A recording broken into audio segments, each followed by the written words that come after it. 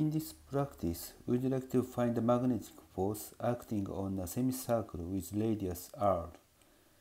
But first of all, we'd like to find the magnetic force on the conductors. So we consider the conductor of the conductors is A. And the length of the conductors is L. Magnetic field is acting on this field directed toward us. This is magnetic field.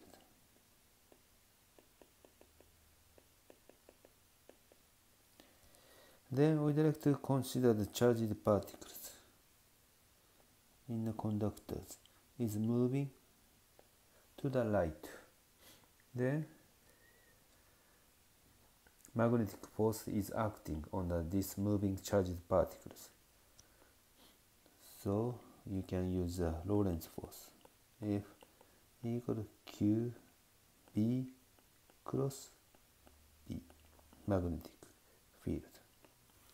So this is the V velocity of the charged particle is positive charge.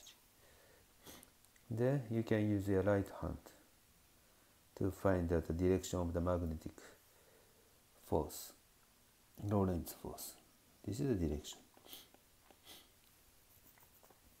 So we have many charged particles in the conductors, all the charged particles. Magnetic force acting on the, all the charged particles. If the, all the charged particles have the same velocities V. Then as a whole, these uh, conductors feel the uh, magnetic force, Lorentz force. So we'd like to calculate the total amount of the force acting on the, these conductors. Then we can find that this total amount of force is expressed. The single charge has a magnitude of Q, B, B. This is a Lorentz force acting on the single charge. Then, how many charged particles exist in the conductors? You have to multiply. Maybe we should write that this is Lorentz force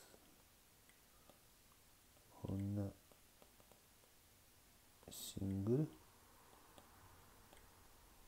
charged particle. Then we have to multiply it. how many charged particles exist. So A area times L becomes volume. And if you multiply number density, this is number density.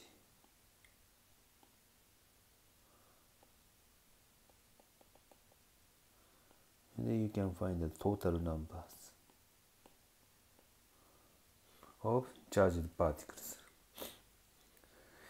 So then this becomes the total amount of the force, this force you can find. Then you can change the uh, this terms. This becomes N Q B A times L B. So this L is here and the Q is here and the V is here, A is here, L is here and the B is here. Okay, so exactly the same. Then first in the parentheses, this is actually it's a definition of the current of I. So it becomes I L B. This is the magnitude of the uh, magnetic force acting on the conductors. Okay, then we'd like to try to solve the questions. So the Cartesian coordinate x and y and the magnetic force is acting. B and then semicircle with a radius of r. Semicircle with a radius of capital R. You like to consider this is semicircle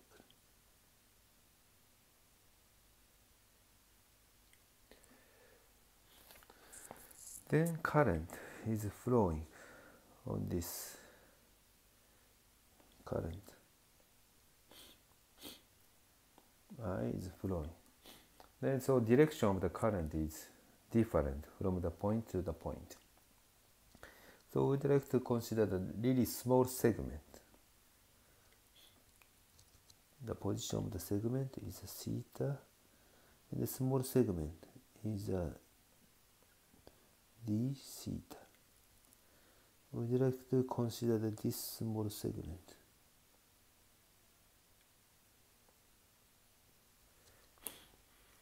length of the small segment is d theta. This is the length of the small segment. And you can use the right hand rule to find out uh, direction of the forces, Lorentz force acting on the, this small segment. As it's, it's gonna be this direction of the df vectors. And the df vectors, this vectors, force is actually the uh, decomposed into two directions. So this is dfx sub x, x component. This is df sub y, y component.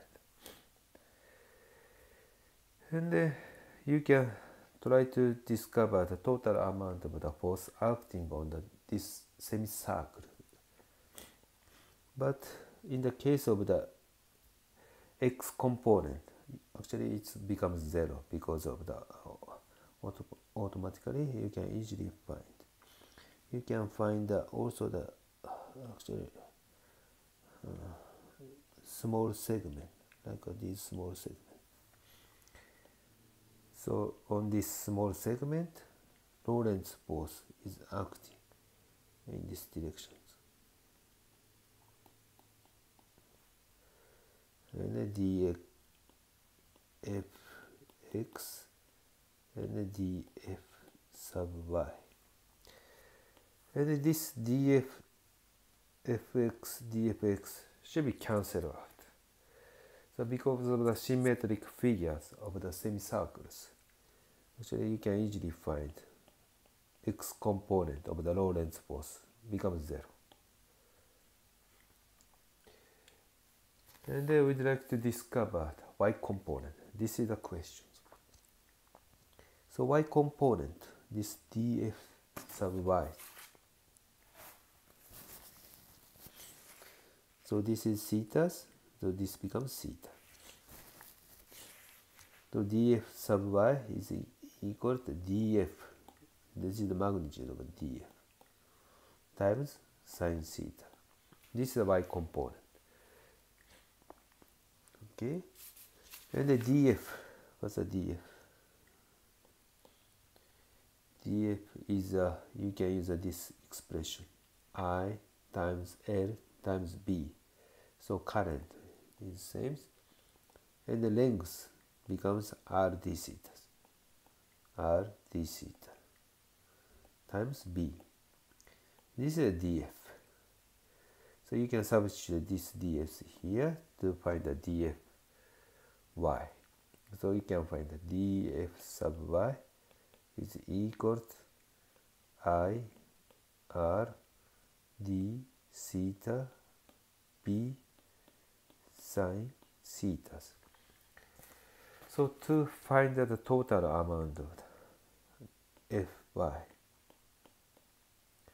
you need to integrate this dfy. So you can substitute the dFi is here. I R d theta b sine theta. And because of the d theta, theta is changing from 0 to the pi because of the semicircle. And then we could perform the this integrals. I, R, B is uh, independent of the theta we can move out of the uh, integrals. This becomes minus cosine theta, 0 to the pi. So this becomes 2 I R B. So this is a total amount of force acting on the semicircles. So this actually this is correspond to the if you consider the uh, conductors of this conductor is flowing from the right to the left, you could have a same amount of the force is acting on the conductors. Okay, this is the end of this practice.